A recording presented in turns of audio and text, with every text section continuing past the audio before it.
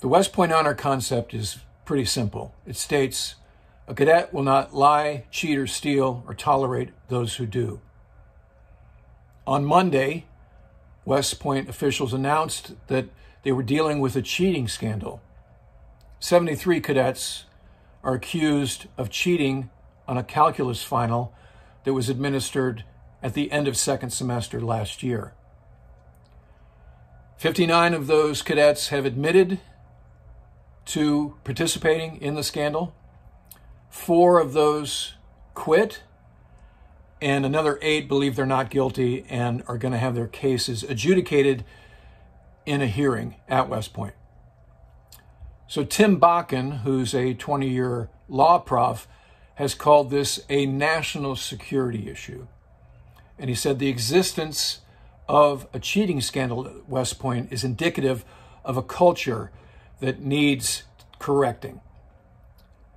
He broke those accused into two basic camps those who've owned up to their misconduct and those who seemed inclined and may be inclined in the future to taking shortcuts. So there is some subtlety in this notion of shortcuts that you actually learn while you're at a service academy. So I think back to my time at the Naval Academy. Summer of 1978, I showed up after having been born and raised by a Marine Corps aviator, not an academy grad, but a lot of those who worked for my dad when he was CO of a squadron did go to the academy, and their stories were cool enough that I applied. I didn't get in out of high school because my SATs were too low, but I did get in a prep school program that wound up sending me to Texas, the Marine Military Academy, where I went for a year, got my SATs up, wound up getting accepted, appointed, and showed up summer of 78. So, plebe summer was challenging, but not that hard. Physically, I was okay with being yelled at and harassed. No big deal. But during plebe summer, you sit down with academic advisors and they start to talk about the forthcoming academic year. And they ask you, what major did you want to pick? And so at a glance, I was like, I like to design things and I'm a big fan of sailboats, so I think I want to be a naval architect. And the lady I was talking to actually laughed. And she looked at what I'd validated course wise, and I'd only validated two semesters of French. She explained how hard naval architecture was, that every year, 100 people in a class choose naval architecture and only 10 graduate. So the rest either switch majors or wind up getting thrown out. So I'm like, hmm, okay, I don't want to get thrown out right from the get go. So what do you recommend? She said, well, I think because you've validated only French and not calculus or chemistry or physics, maybe you should be what we call a bull major. And that's history, English, or poli sci. I'm thinking, oh, I like current events and politics. I'll choose poli sci. So I wound up being a poli sci major. However, the thing about majoring in anything at the Naval Academy, and this is because of the technical elements of being in the modern Navy, particularly nuclear power, and the influence of Hyman Rickover, regardless of your major, you wind up taking these really hard, what they call core courses. Three semesters of calculus, differential equations, thermodynamics, statics, weapons, electrical engineering. So I don't care what your major is, you're going to have some focus on these core courses, and they're hard. And so, what the academy also teaches you is time management.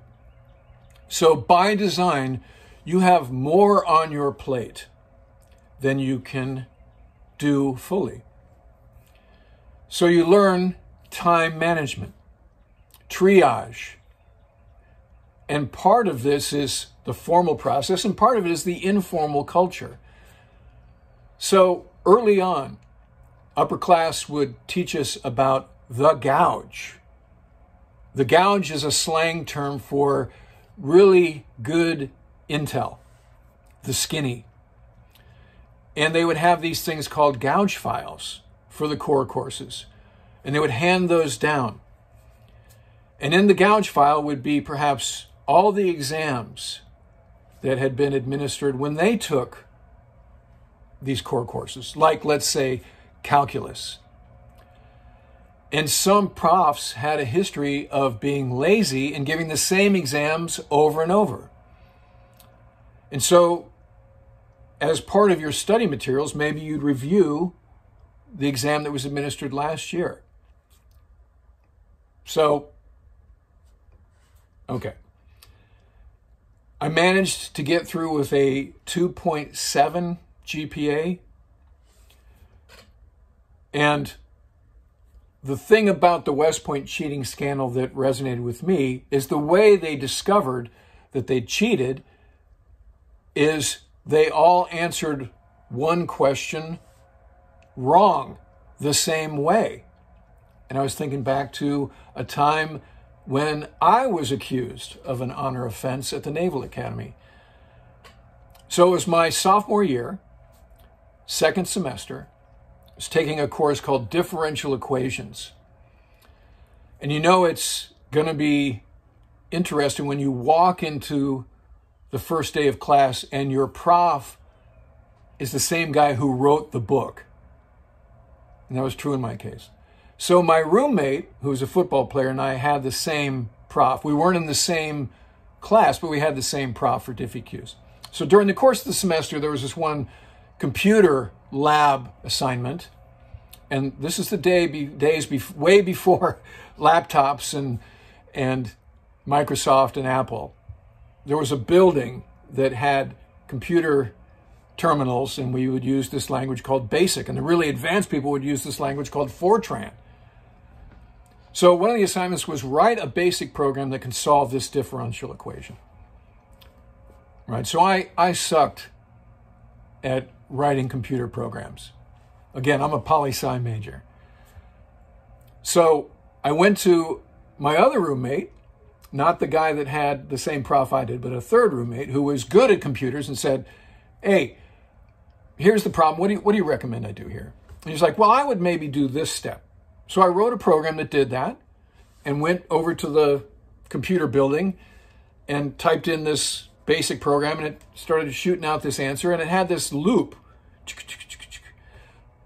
I was like, okay, whatever, close enough.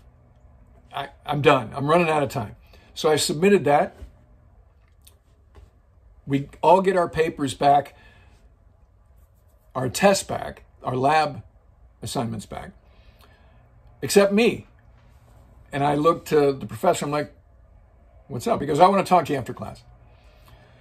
So go to him after class and he says, I want to know who cheated, you or your roommate, my football player roommate. I'm like, what are you talking about? He goes, you had the same wrong answer, exactly the same. Like, I don't know what to tell you, prof.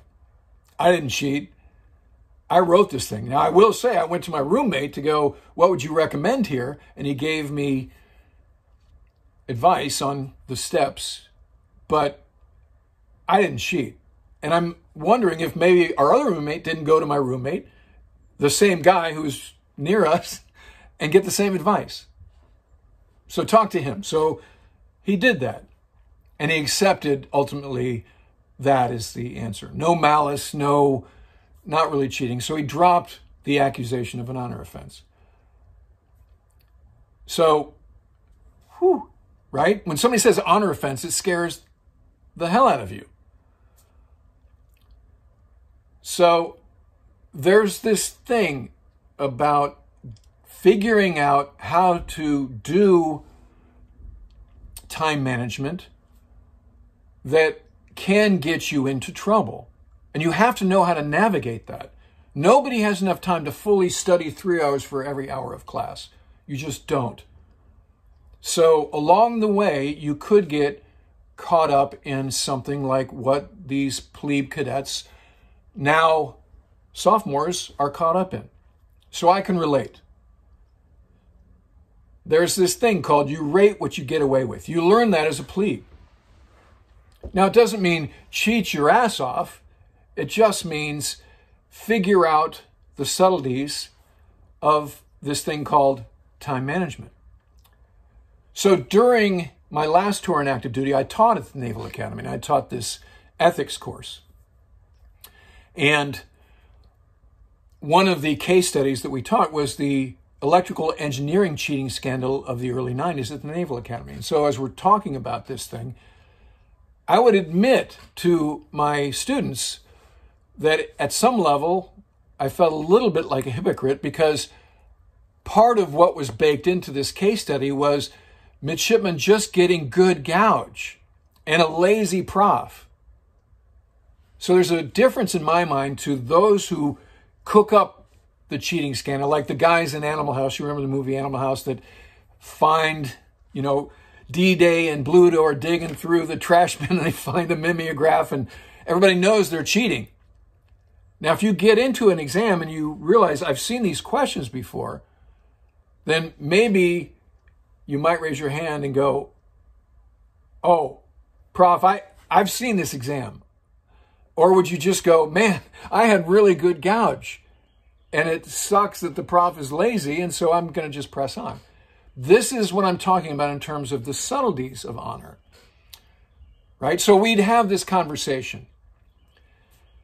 The other thing that existed, and this didn't exist when I was a mid, and, and now it does exist, and this is what you're seeing the 59 mids or this 59 cadets are being allowed to, to go through, is this thing called honor remediation, which is a program where you aren't thrown out, but you have to atone for your sins by sitting down with an officer and talking about this thing about morality, ethics, cheating, right and wrong.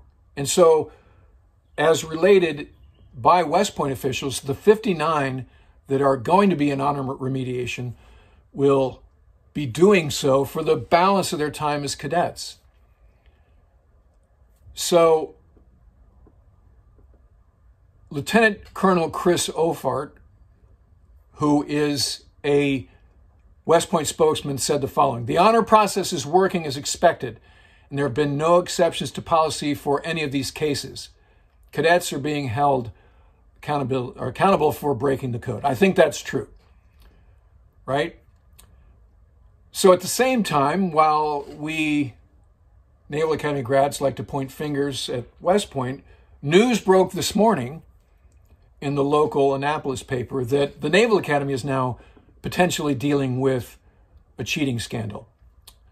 And this is what it quote, due to potential inconsistencies noted in the administration of the in person proctored computer based final exam for physics, all midshipmen who were enrolled in this course during the fall semester have received a marking of incomplete. The Naval Academy is working to resolve the uncertainties surrounding the final examination as quickly as possible. So, more to follow on that but regardless, what I'm saying to those who are concerned about the future of the modern military and what's going on at our service academies is calm down. I agree with the West Point spokesman, Colonel Ophardt. The process is working. Our future is in good hands. The defense of the nation is not at risk. All right. Thank you for subscribing. Thanks for liking and sharing. Your support is very appreciated, and I look forward to talking to you again soon.